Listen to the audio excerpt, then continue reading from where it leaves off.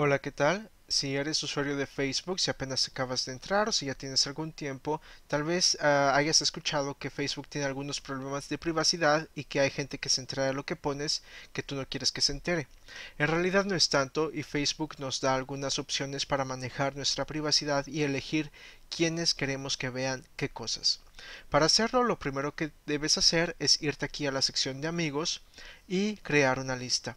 Cuando tú creas una lista, la le aplastas aquí y le puedes poner un nombre a tu lista, elegir las personas que quieres que vayan ahí y crearla. De este modo podemos agrupar a nuestros diferentes conocidos en gente que conocemos muy bien, gente con la que nos vamos de parranda, o familiares, o gente que conocemos de una manera muy casual, o por ejemplo chicas con las que queremos quedar bien, o gente que conoce a nuestra familia y que luego les va a ir contando chismes.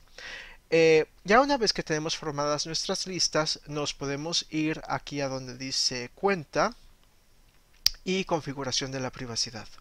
En configuración de la privacidad, lo primero que sale es este cuadro que te está diciendo cómo estás compartiendo las cosas. Por ejemplo, la biografía y citas, yo la comparto con todo el mundo porque quiero que si alguien me encuentra, que sepa quién soy y a qué me dedico y ver si me conoce de algún lado o, si tiene algún interés profesional o lo que sea en en conocerme, ¿verdad? Y también, por ejemplo, em, todo el mundo puede realizar comentarios, pero solamente algunas personas pueden ver lo que yo pongo. Mis números de teléfono y dirección, solamente mis amigos y mi cumpleaños, mis amigos y además sus amigos, o sea, los amigos de mis amigos, para que de esa manera me manden muchos regalos. Aquí en otros, esta es la opción que te sale cuando tú picas aquí en personalizar la configuración y podemos decir de manera muy granular, muy específica, quiénes queremos que, que puedan ver estas cosas. Por ejemplo, mis publicaciones yo solamente las quiero que la vean, si nos vamos aquí a personalizar, estas listas. La gente que está en estas listas, gente que no está en estas listas, no va a poder ver lo que yo pongo. Simplemente empiezas a, poner aquí el nombre de la lista que quieres que pueda ver o incluso de la persona individual que quieres que pueda ver. Y, ah, ah, por cierto, tienes que ir a cambiarla aquí a personas concretas y empezar a poner aquí lo de la lista. Y solamente esas personas podrán verla. Y las ocultas, por ejemplo, si tienes alguien, alguien en la familia con el que te peleaste, puedes poner aquí el nombre de esa persona y ellos no van a poder ver ese contenido aunque estén en esta lista. Guardas y todo eso. Y lo mismo haces con las demás cosas. La, la privacidad del álbum la puedes tú controlar incluso las fotos álbum por álbum. Algunas cosas quieres que, sea gente más conocida, otras cosas como estos eventos, que, que las vea todo el mundo. Y obviamente también puedes decir quiero que estas listas las vean y quiero que estas personas además individuales lo puedan ver o que no lo puedan ver. Puedes controlar todo esto.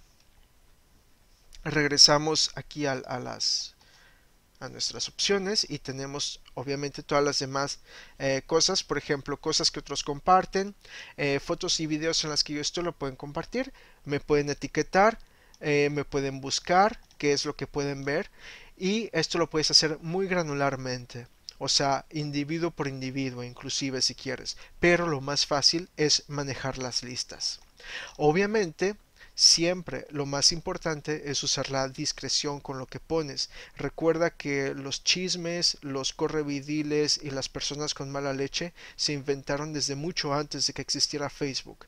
Así que lo mismo que no dirías en público, por ejemplo, eh, eh, no lo digas en Facebook. Facebook no es una fiesta privada, no es una conversación íntima que compartes con alguien más.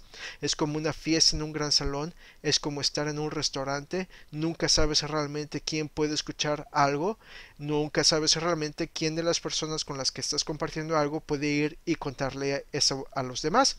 Así que lo más importante es ejercer esa discreción. Usa el sentido común, usa las opciones de privacidad y estoy seguro que no vas a tener ningún problema. Espero que este video te haya ayudado y que te ayude a disfrutar más de tu experiencia con Facebook. Bye.